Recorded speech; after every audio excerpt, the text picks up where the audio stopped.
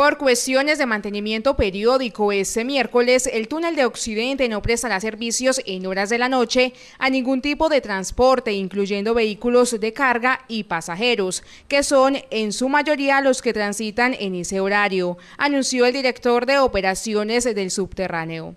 Eh, vamos a cerrar el túnel de Occidente entre las 10 y media de la noche y las 4 y media de la mañana, eh, para un total de 5 horas, con el propósito de hacerle todos los ajustes a la a la planta mm, eléctrica y buscar cambiar algunas piezas que de pronto presenten defectos.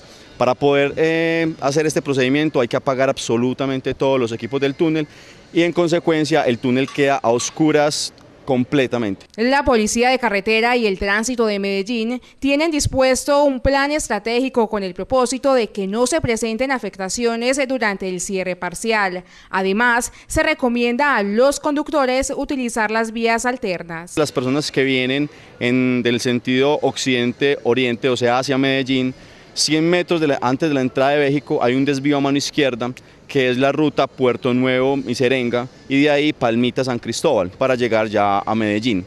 Y esa misma ruta, San Cristóbal, Palmitas, Puerto Nuevo Miserenga, la deben de utilizar la gente que vaya de Medellín hacia Occidente. Las restauraciones al túnel Fernando Gómez Martínez se realizan cada tres o cuatro años, obedeciendo a las circunstancias o condiciones en que se encuentren los equipos. Sin embargo, el equipo técnico monitorea su infraestructura y de presentarse anomalías se procede a ejecutar la recuperación.